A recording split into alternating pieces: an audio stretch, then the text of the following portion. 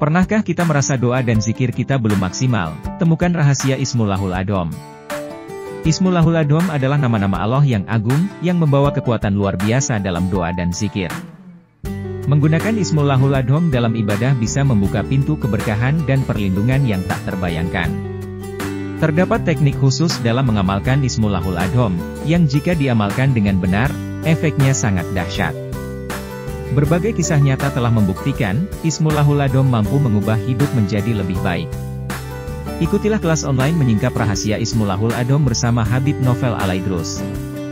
Daftarkan diri Anda sekarang juga, caranya cukup mudah, cukup klik link di deskripsi dan ikuti petunjuk selanjutnya di sana. Pelajari bersama dan amalkanlah Ismulahul Adom, dan saksikan sendiri keajaiban yang terjadi dalam kehidupan Anda.